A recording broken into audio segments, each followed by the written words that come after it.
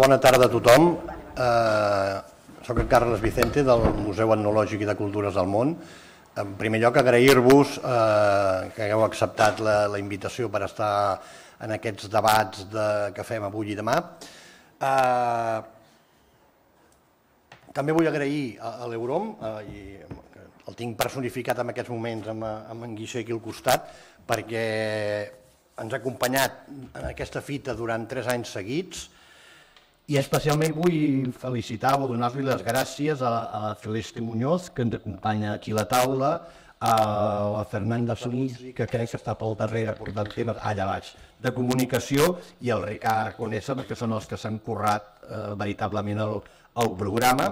i naturalment gràcies a tot l'equip del Niseu, que també ha participat de forma activa perquè puguem...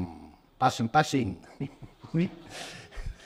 perquè puguem avui estar aquí celebrant aquesta tercera edició, que jo diria que, que estem consolidant aquesta trobada, aquest reparant el passat, de forma anual hem aconseguit anar celebrant i això vol dir que bueno, estem tractant un aspecte uns aspectes molt rellevants eh, i necessaris que inter, interpel·len el nostre passat, interpel·len també el paper dels propis museus com a tal, i jo crec que interpel·len a la societat en el seu conjunt. Eh, en aquesta edició eh, ens hem allunyat una mica de les dues primeres on vam tractar d'una forma més explícita temes quasi bé, podríem dir, polítics jurídics al voltant de la restitució o del, o del deure eh, postcolonial, i en aquesta ocasió hem volgut centrar-nos una mica més en experiències que s'estan produint arreu i que eh, poden ser eh, bons exemples de com eh, desenvolupar una tasca d'una manera diferent a com s'ha vingut fent fins ara. Des del propi museu eh, ja estem treballant ja fa dos o tres anys en aquesta direcció, potser, eh, segurament, eh, més lentament del que ens agradaria a tots, els visitants i, el, i, els, i els que hi som. Uh, però en els darrers anys hem pogut col·laborar de forma activa amb aquest projecte que ara després ens explicaran, aquest projecte de recerca del, dels traficants, i també hem aconseguit uh, establir relacions uh, des del Departament de Col·leccions amb el projecte digital Benin, que el, el pivota el Museu MAC d'Hamburg i que, òbviament, eh, el que està fent és un inventari general de, de les peces de Benin que van ser arrabassades en el seu lloc d'origen. I també estem en un altre projecte o en una altra col·laboració internacional eh, que es diu Return Cultural Heritage que protagonitza l'Institut Australià d'Estudis Aborígens i com vostès ja deuen saber, o si no els hi dic jo, eh, resulta que aquest museu té una de les col·leccions més importants d'escorça aborigen eh, que hi ha en Europa per aquests avatars de la vida. Eh? eh? I per tant, nosaltres vam fer fa uns anys una exposició sobre aquest tema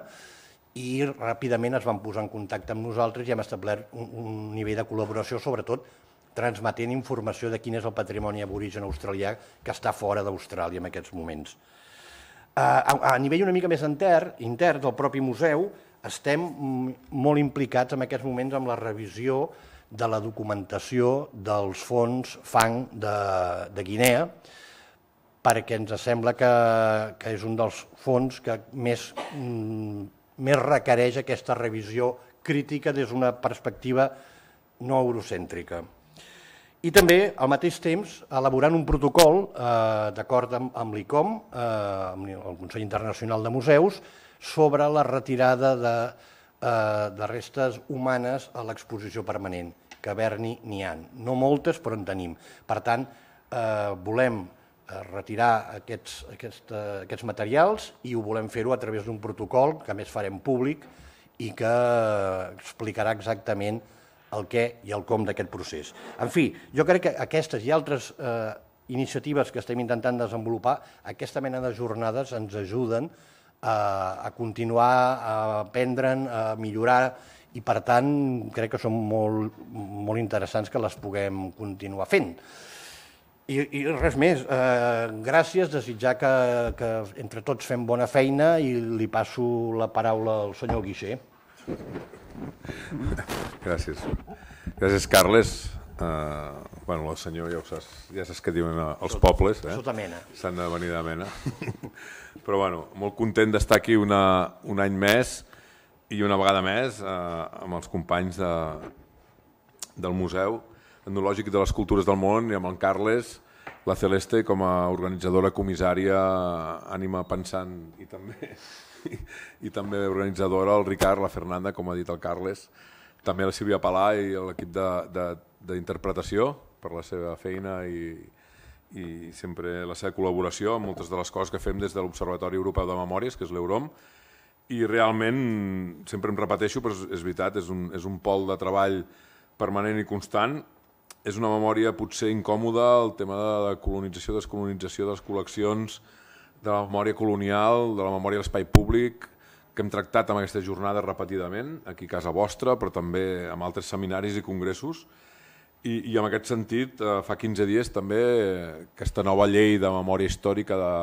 l'estat espanyol, amb la Secretaria d'Estat de Memòria Democràtica, doncs es va dedicar per fi, i ara hora, d'alguna manera, és un pas més, eh? no, és, no, és, no, és cap, no és cap logro ni, cap, ni cap èxit, però sí que realment que amb una part del text i després també amb les trobades internacionals, en el marc de la presidència de la Comissió Europea, doncs hi hagués,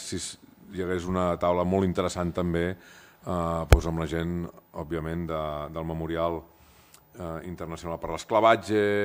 amb aquesta reflexió també de les col·leccions dins els museus i amb aquestes memòries realment a vegades molt, molt incòmodes pels estats, per les polítiques públiques de memòria, no, no pels investigadors ni les investigadores, òbviament, que, que estan fent una feina ingent. També agrair a, bueno, a la Fundació Solidaritat, que depèn de l'Observatori Europeu de Memòries, amb aquest projecte de traficants que col·laborem amb la CEL i amb l'Observatori de la Vida Quotidiana també, que, que hem anat treballant tots tot aquests temes, i, i, i destacar això, no? que, que més o menys està a l'agenda. Jo som molt escèptic, els que em coneixeu, doncs eh, cada vegada m'he tornat molt més escèptic amb el tema de la legislació memorial. De fet, eh, ja es pot dir, sempre estem dient i estem comparant els mitjans de comunicació, que Espanya hi ha moltes foses comunes, que ens comparem amb Cambodja, etc etc. Mm, el que sí que podem dir que és veritat és que Espanya, amb les lleis autonòmiques de memòria i, la llei, i les dues lleis estatals, som el país que té més lleis de memòria i que menys les aplique i que menys les execute. I això és, és motiu d'una frase que, que, que bueno, és, no? és així, però és que jo ho dic perquè ho estem reflexionant i és veritat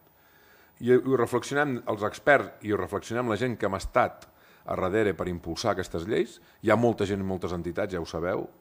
segurament algunes esteu aquí, que, que, que han introduït també tot el tema de memòria colonial a, a la nova llei de, de, de, de memòria democràtica a l'estat espanyol,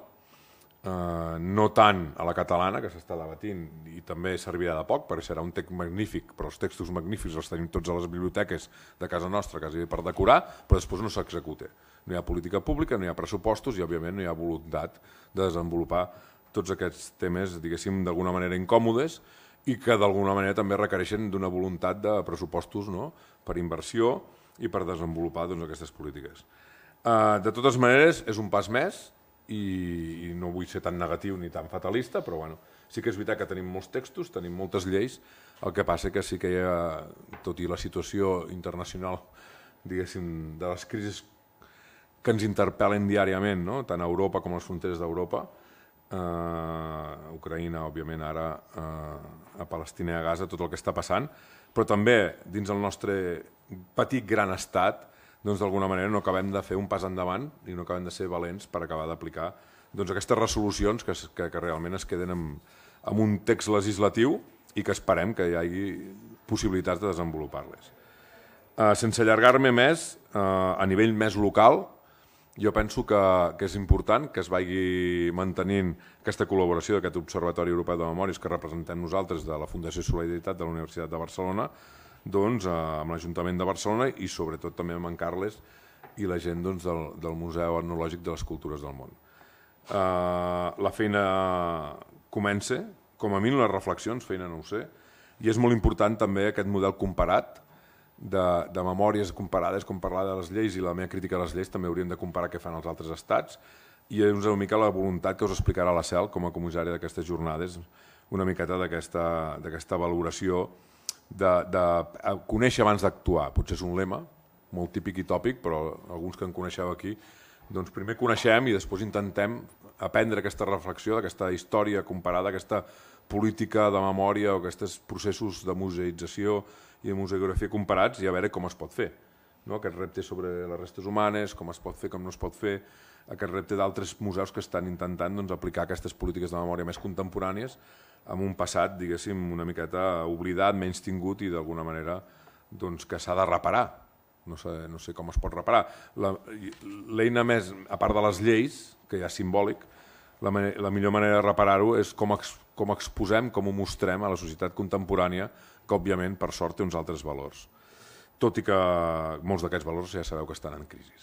Bueno, no m'allargaré més. Felicitats, que sigui molt interessant aquests debats, treballeu molt i us cedeixo la paraula a la Cel, que us explicarà una miqueta més el contingut de les jornades. Gràcies. Gràcies, Jordi. Bueno, jo vull ser una mica més optimista i espero que, que les jornades doncs, ens ofereixin eines no? i reflexions per, per poder avaluar de manera constant totes aquestes problemàtiques, que de fet és el que hem vingut fent no? en les darreres edicions, tant que aquesta és la tercera, i primerament doncs, eh, agrair l'acollida la, al Museu Etnològic eh, enguany i en totes les edicions anteriors, que ens han permès doncs, eh, donar-li continuïtat a, a aquestes jornades de reparant el passat, també a la Fundació Solidaritat UB i l'Observatori Europeu de Memòries i tot l'equip tècnic, el Ricard, la Fernanda, tota la, la,